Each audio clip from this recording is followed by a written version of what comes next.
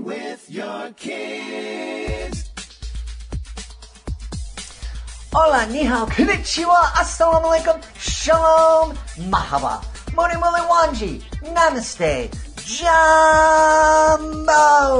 bienvenidos. Hi, my name is Jed Lee, and this is the Reading with Your Kids podcast. We're coming to you from our southern studios in the beautiful city of Orlando, in the great state of Florida. We're so happy and so excited that you would join us in our mission to help families grow closer through reading.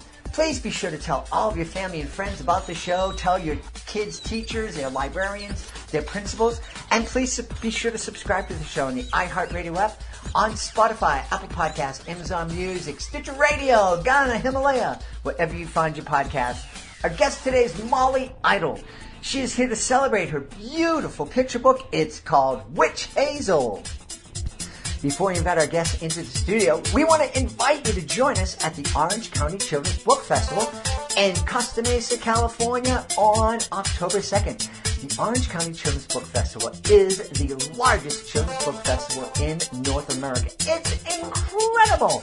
There are hundreds of authors, all sorts of totally interactive shows. We'll be there with our booth. You get to meet me. You get to meet some of the books that we've celebrated here on the podcast. You get to be part of our totally interactive family magic show. And we're going to be looking for some great families to interview to be part of a future episode of the Reading with Your Kids podcast. Podcast, bet, bet. Easier said than done. Reading with Your Kids podcast.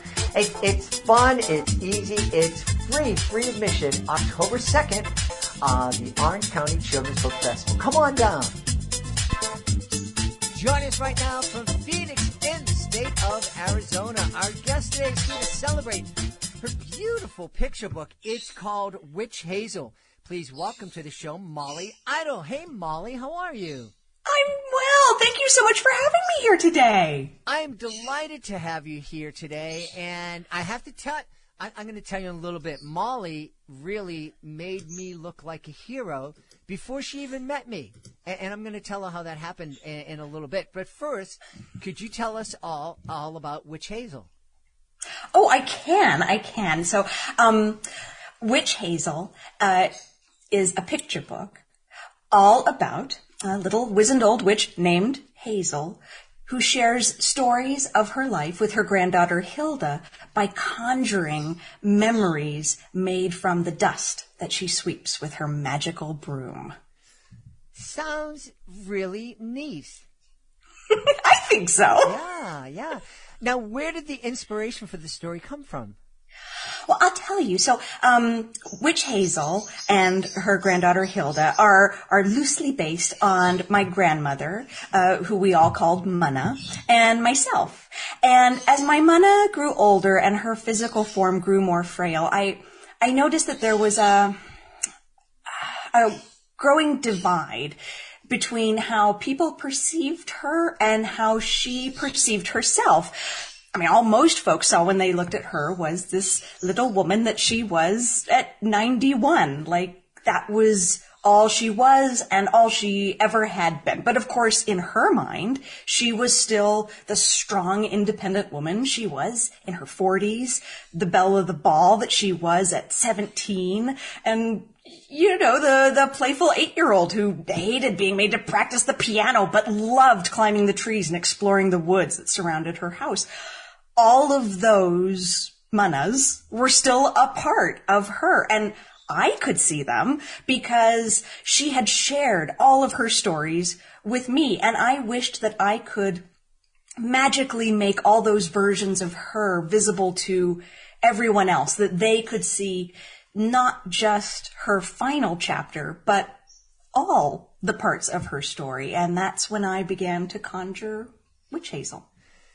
You know, that one of the things that we have really advocated for here on the podcast is for families to share stories, to share stories about themselves. I I am a big believer in parents knocking themselves off that pedestal our kids put us on, thinking that we're perfect beings, uh, letting our kids know that no, we're we're not perfect. We make mistakes. We don't know all the answers.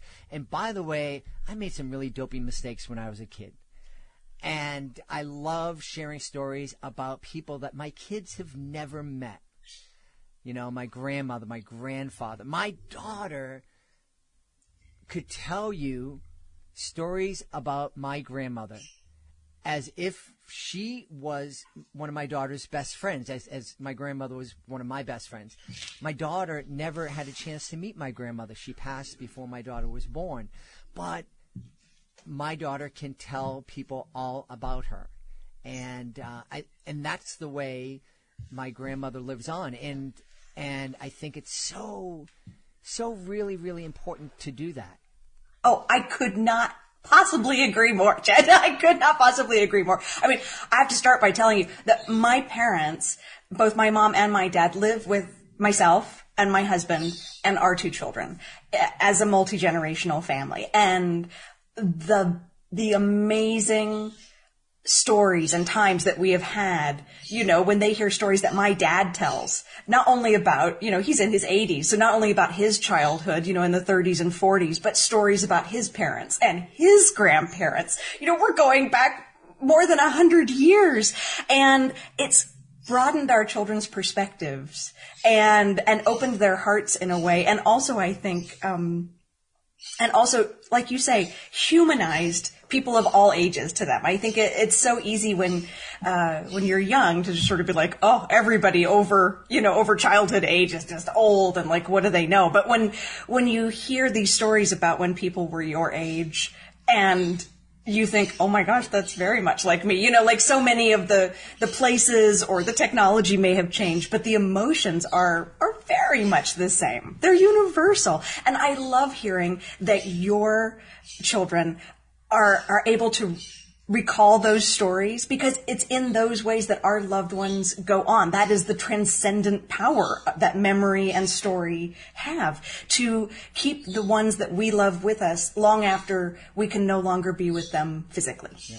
So, so, so very important. And I think, I think it's somewhat comforting to the, I, I haven't like kind of worked this out, but I think it's comforting to the kids when when they see us keeping those memories alive, I think it kind of gives our kids hope that their memory is going they're going to live longer than the time that they're actually here on earth.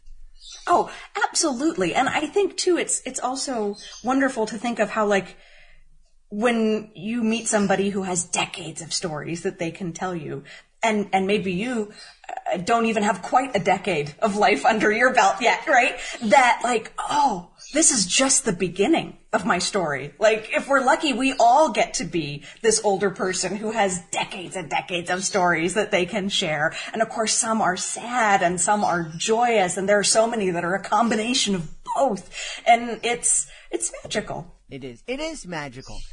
And that's one of the things that I thought when I first received my copies of Witch Hazel. I, I had a, an advanced reader copy, and then I had the, the, the finished book, and it's beautiful, but the but the illustrations are very different.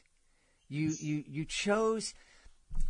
This is I'm, I'm not going to say this as eloquently as I want. There are some pages where, where you look and it's like, is this finished yeah, because it's there's just a lot. Like you you left a lot to our imagination. Was that was obviously intentional? Absolutely. Well, because I think, you know, in part, when we're remembering something, we remember specific things very clearly. But there's a lot of fuzz on the outside of those edges, things that weren't keeping our full attention. Um, and so I liked the idea that the images focused almost entirely upon Hilda and Hazel. Mm-hmm. And for those of your readers that don't have a copy of the book in front of them, I can describe that every, the entire book is only in three colors. It is in graphite, so like a, a grayish pencil color, and white, in some white pencil, and there, it's all drawn on brown paper. And so all of the characters and things that are appearing in the present and are happening now as we're reading the book are in graphite. And all the memories are being conjured from dust, which is actually made of white pencil dust on the paper. And so those memories do. They come from just twinkling little bits of nothing and then take on form and then dissipate again. So they are very uh, ephemeral and sort of ethereal looking, but also their surroundings too, because I thought when you remember a conversation you had with a loved one or a story they tell you, you're remembering them, but maybe you don't remember what was on the coffee table behind them or necessarily what pictures were hanging on the wall. Those are sort of fuzzy on the outside edges. And, and so I wanted the book to have that quality of, of being remembered. Mm-hmm. Mm-hmm. Yeah. I, I'm fascinated uh, because I'm I'm not an artist and a visual artist in any way. I create magic stories. I, I perform as a magician at schools around the country. So I kind of understand that process of creativity and creating stories and taking a ma- oh I can take this into this and change that. What kind of story can I tell with that? But the visual arts, this is this is a, a style that I've never seen before. That that word you use, ephemeral. You, you see that kind of of uh, depicted in in different ways. It's you know there's clouds and all that kind of stuff. But this is very very unique, at least uh, unique to to me. Where did this comfort was this like right from the start you knew i'm this is this is how i'm going to do this or you know did you do like a kind of straight illustration first and come back or I, am just very curious. Well this book is it is a new technique for me. It is different than most of my, my other works. Look, I mean, hopefully you can, when people who have seen other of my books will go, oh, I can see that she did this too. But the, the medium is, is different working in the very, very limited color palette.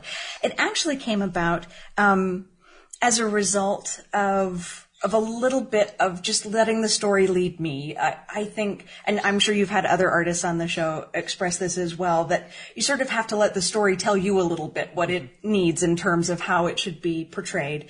And, um, and while I had been playing around for a while with the idea of creating a, a witch character and having like her memories um, unfold magically, it wasn't until my own Mana, my own grandmother, had passed away, and that I was in her house helping sort of set things right, clean up, and just sort of put things back to the way that she would have liked them to be. Um, and that I realized, you know, tidying, and this is going to sound so silly, but tidying has always been a real comfort to me, even since I was a child. Like if I, if things were out of place in the world, I could put them into place in my room or with my toys, and in that way, like have some sense of control over what was happening, and that gave me a feeling of greater um, control and connection with my emotions. And so, tidying my grandmother's house gave me this feeling of of of peace and of of sort of putting things in place, and um, and I was struck by. Um, you know what a what a simultaneously mundane and beautiful thing dust can be. I mean, so often we see it as, oh, I need to dust, right? But sometimes if you're sitting in the right light and dust is filtering and sunlight is coming through it, it takes on this like utterly uh, pixie dust magic quality, right? And, and so something that we think of as a negative can really be so beautiful. And it struck me that, um, that loss is like that as well. That the, that the feelings that we have of sorrow are, are almost entirely directly proportional to the love that we had for that person that we've lost. Um, so I, I, knew in that moment that dust was somehow going to be key to the way in which I wanted to tell the story. And of course, dust is mostly, you know, sort of white, light colored. And most of my picture books are very vibrantly colored. But I knew that if I created a book in full color, that would diminish the, the visual impact of this dust that I wanted to be featured. And so then I knew, all right, so it has to just be black and white. Um, but black and white felt sort of cold and, and a little, you know, not as friendly as I would like it to feel. And then I found this beautiful brown paper that's almost exactly, if you're, if you're listening, so that we could describe it for you, it's almost exactly the color of like paper grocery bags or paper lunch bags, like the sort of things I would draw on as a child. And that made it feel, it made it feel like home to me. So that is how this, this mix of colors and mediums came about. Wow. I, I, I just have to ask, uh, any pushback from the publishers, uh, when, you know, you went to sell this manuscript? Were they sitting there scratching their head going, uh, yeah, okay, Molly, this is like kind of cute, but it's, we can't sell this. Do you know, I am so lucky to have my editor, Andrea Spooner at Little Brown, who just believes like so wholeheartedly in, in my work. And, and I think that when she read the story and I told her that I, I wanted to illustrate it in a limited color palette, um, she said, maybe you could add one color. I said, let's see. and then, um, and then I created just a sample piece and, and when they saw it, they said, no, you're right. Just like that. And, uh, I'm so grateful because it is, it is very different and it's, you know, it's maybe not as, you know, rainbows and sparkles and things like that, but I think, I think it's really, it, it's important that the art suit the story. And I also think it's wonderful to introduce children to all kinds of art, that there's all sorts of art that can be beautiful, photography and dance. And, and in fact, throughout each of the seasons that's featured in the book, as we go through this year with Hilda and Hazel, I tried to make every season revolve around a different art form. The first is about in springtime we have storytelling and then in summer there's music and then in the fall there's dance and then there's crochet and there's, you know, cooking and then we come back around. But I, I love the idea that there are so many ways to express ourselves and the more of those ways we, we can share with our young readers, uh, the bigger their world becomes. Yeah. Well, I, I, I teased early on that you kind of made me a hero this past weekend, and I'm interested to know how, Jed. yes, well, I, well, I, you know, we we live in this beauty. You know, I, I introduced the show and let everybody know that we're coming from Readville, and Readville is a real place. It's a neighborhood in the city of Boston, very historic. Um, it was the home of the Massachusetts 54th Regiment, the first all-black regiment that fought in the Civil War and they trained. Their parade ground was literally two blocks away from my home.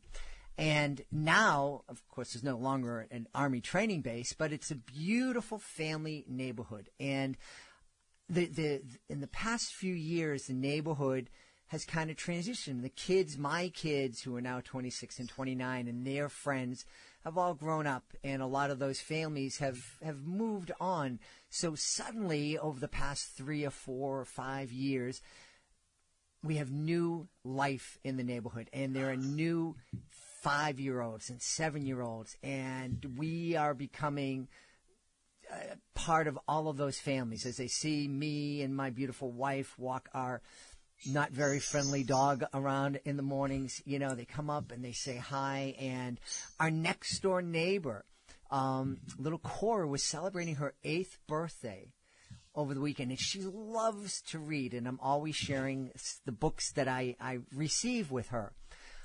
And as we're going out, I'm looking at the stack of books and goes, well, maybe she might like this, she might. And then I remembered that you or, or your publisher had sent me a print from from Witch Hazel, and it was signed and numbered. And I said, "What a gift for Cora! Her a, a book, the whole the whole story, plus this print." And she saw it, and her eyes just lit up. Just, I mean, and because because I think it that the thing we talked about earlier on that there's a lot that the that the reader is going to be filling in. That you you kind of like hey here's my story and i'm going to tell you part of it but you need to fill in the rest of it. And i think Cora just looking at that print and looking at the cover art she got that right away. And as we say here in boston she was like so wicked excited it was it was great and she loved it and um, so i i have to thank you and it would have had a beautiful place in my office here, but it is going to be so much more appreciated in Cora's bedroom. Oh, that story makes me so happy. That's brilliant. Yeah, that there's no better place for books than in the hands of young people. Absolutely. And and this young person is uh, just delightful. She is bright and she's imaginative and she's sweet and she's kind and she's friendly and um, yeah, I think and and and this is a kid who is going to love hearing stories about her relatives and she is going to be telling stories to her kids going on Oh, that is wonderful. I, I do, I hope that, I hope that reading the book sparks conversations with, with her family about, well, what are some of our stories? You know, that's the best. yeah, yeah, absolutely. So, um, what's next for Witch Hazel? Are we going? Is this going to become a series, or is this like, no, this is just too sweet, one and done? you know, I think, I think for, for our Hazel, it will, this is a wonderful place to end her story. I did, I, somebody else, I, I, I know, I think I read it in a review somewhere. Somebody said, well, what happens next? And I thought, gosh, if I could tell you what happens next to Hazel, that would be a whole different book. but, but I love the idea that our stories go on and on. So maybe Hazel's story ends with Hilda or goes on with Hilda as actually what I should be saying because Hilda goes on mm-hmm. and on and and the very end of the book as you if you if you're a reader who is uh, is interested in investigating every nook and cranny of a book if you lift up the back flap of the jacket there's a tiny hint at the magic that Hilda is able to start creating now um, where she's you see her now conjuring her own memories of herself and so that is what i hope if if there's not another book and i don't plan for there to be another hazel book specifically but um, if it goes on in any way i hope it's just that children realize that this is a magic that they can conjure themselves yeah. that memory and story those are real magic, if there is such a thing. yeah. This thought just came into my mind, and I have to apologize because I have this. People who listen to this show know I have this weird brain, and it just things flash, and for no reason. It might have been an injury I suffered many, many decades ago. But I, you were talking earlier about you know uh, the the the grief that we feel is you know equal to the love that we feel for somebody and I know a lot of kids who suffer the loss of somebody they love, especially at a young age, can be kind of gun shy. It's like, oh, I don't know if I want to love again. I don't want to go through this again. But I think that Witch Hazel would be a way to comfort them, would be a way to kind of talk to kids about, yeah, this is this is one of you had that relationship and that love and now it's gone and that hurts. But that's that's a hurt that's okay because it meant that you loved somebody so much. And and uh, and you can do it again. You can open yourself up and and do it again and let yourself love somebody else just as hard. Oh absolutely. And i and i think that um upon repeat readings of, of the book, if somebody's inclined to, when they finish it, read it again, um, the book plays with the ideas of, of letting things go and, and the sort of chapters that we have in our lives throughout the sort of seasons that there are in the stories. Hazel has a series of familiars that she remembers, right? There's a cat that she had when she was a little girl around Hilda's age, and there's a bird that, um, a songbird that she loves, um, but lets go in her teen years. And then when she's the belle of the ball, she has this, um, boa constrictor that she wears, like a feather boa. Um, but none of those animals are with her in the present. And, you know, so it's, you know, you have to realize that she's also experienced loss, right? Because none of these things that she has loved, none of these creatures that she has loved are still with her. And it's this cyclical nature, right? So there's, you know, the story takes place over a year and a year when you're young, oh my gosh, a whole year? That's an eternity, right?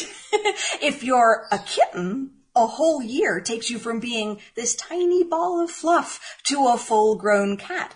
Um, to an adult, oh my gosh, a year goes by in the blink of an eye, right? So this idea of, of making every moment count and making the most of every moment with everybody that you're with is, is another thing that, that I, I believe is so important. Yeah, absolutely. Hey, you know, one, you mentioned multiple readings, readings and, uh, I, I've often heard parents say, oh, my kid wants me to read that book again. but one of the things I, I, I say to parents is, yeah, you've kids. That's a that's a compliment. Number one, they like the way you read, so like, mm-hmm. big ups to you. But more importantly, you don't have to read a book in the same way. And oh, one of the no. things that we encourage families to do is to take a picture walk through a book before you read it. Just you might want to take a post-it note and cover the words and just go through and just talk. And Witch Hazel is the perfect book for a picture walk because there are so many different interpretations. Uh, I think a family of three, a mom reading with her two kids or dad reading with two or three kids, everybody's going to have a different thought about what's going on in the illustrations, I think. Oh, absolutely. And I think the story will, you know, people, of course, bring their own experiences to every book that they read. And so somebody who has experienced loss already is going to have a different takeaway from this book than maybe somebody who has not yet experienced um, a loss in that way. Um, but of course, the joy of sharing stories. I, I, was talking with somebody the other day who paid me I, just the highest of compliments. They said, you know, you this story is in some ways, you know, really pulls at your heartstrings. But you can also read the book through and not feel sad at all because all of the memories and, and the joy that Hilda and Hazel have spending their time together, you know, I don't want people to come away and think like, oh, that's going to be like a hard, hard book to read and, and a hard book to get through. But I do think that different people will take different things away from the book. And and that that is one of the great joys of making a book is that then when you share that story, it's going to take on meanings to people that you never ever could have imagined because everybody feels differently based upon their own life experiences. But that's the wonderful thing about sharing isn't it? Because you you keep part for yourself and it will always mean that to you. But then you give part of yourself away when you share your stories and now somebody else has a little bit of you and vice versa. Yeah. That's magic. It that, truly is. that is that is magic. Hey um, Molly, where can we go to find out more about Witch Hazel and also to find out more about all the different books that you've created? Oh, well, thank you for asking. You can go to my website. It is idle, I-D-L-E, like my last name, illustration dot com. So idleillustration.com and it has things about me and my books that are out already and upcoming projects and links to my social media sites as well. And and those other books have all the colors in the rainbow? yes, and, and and and some new ones too. Oh, good. We've had a really fun time speaking about a beautiful picture book. It's called Witch Hazel, and our guest has been the author and illustrator Molly Idle. Molly, thanks so much for spending time with us tonight. Jed, thank you. I'm so proud and, and pleased that we are now part of each other's stories. Amen. Please be sure to join us for the next episode of the Reading with Your Kids podcast. Our guest will be Amanda Siebert. She'll be here to celebrate Mama Sing My Song. It's a beautiful picture book. It's also a great service where she will actually compose and record a unique song for your kids based on your kids and not just a, a cookie cutter song where they just paste in your kid's name. It's a really wonderful service and it's a really fascinating conversation you don't want to miss. Hey, if you are the author of a fantastic children's book, please do be sure to visit our website, readingwithyourkids.com. We would love to have you as a guest here in the podcast. Being a guest, it's fun, it's easy, it doesn't cost a thing, and it gives you the chance in a long form conversation to tell thousands and thousands of people about your fantastic children's book. Learn how to do that by going to our website, readingwithyourkids.com, and clicking on the author's click here button at the top of the page. You can also find out about our certified great read program and also learn how you can take part in our monthly promotion program. We can celebrate your book uh, by through commercials on the podcast through messages to our 100,000 plus social media followers. Uh, have your book displayed on a nationwide network of digital pedestrian billboards and have your book with us physically at whatever live event we are going to be at in any given month. And uh, the month of September, we were at the PTO Today Expo in St. Louis, Missouri, meeting with thousands of educators throughout the Midwest. And in October, we'll be at the Orange County Children's Book Festival um, in Costa Mesa, California. I want to thank the folks who made today's show so wonderful. Of course, I want to start by thanking our guest, Molly Idle. Please be sure to check out Witch Hazel. Also want to thank my team, Fatima Khan, Rory Grady, Mirabella Q. I want to thank my son, Christopher, for hosting me here in his beautiful Orlando studio. I want to thank Daisy for keeping me safe here in the studio. I want to thank my beautiful wife for all the support she gives me. Most of all, we all want to thank you. Thank you so much for taking the time to join us today. And as always, thank you so very much for taking the time to make the world a better place by reading with your kids. I'll be looking for you in the next edition of the Reading with Your Kids podcast.